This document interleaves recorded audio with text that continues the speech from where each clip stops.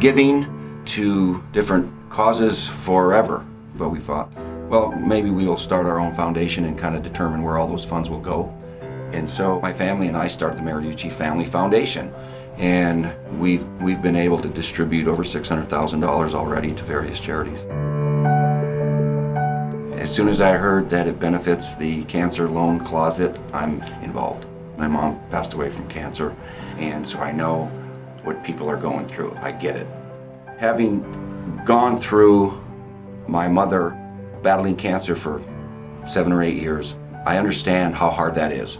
It's hard on certainly the patient, it's certainly hard on the family, and it's a tough thing. And we are making great strides in this country to find a cure or to find treatment uh, for different types of cancer, but we haven't won that battle yet.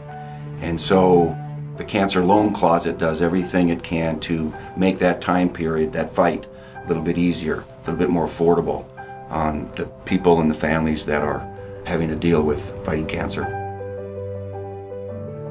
I remember being a kid. It's a tight-knit community and the north side is one section and the west side's over there and the east side's over there. I don't know why we don't have a south side. We just don't. We all played football and basketball and ski and I ski jumped and I was cross country skiing and you'd never stop and then you water ski and then you swim across Lake Antoine. Everybody was outside and playing and busy and competing and having fun with your friends and that's the way it's supposed to be. And so I hope we never lose sight of that.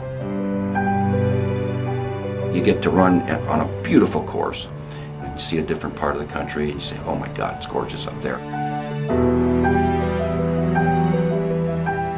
You got to drive around Lake Antoine, run around that thing four billion times, and it's gorgeous, and that's part of where the race is. Um, you got to check out Pine Mountain. If you got any guts, you climb to the top.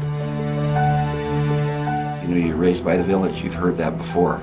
Just enjoy the, the people here. I think that's the greatest attraction is, is visiting with the people.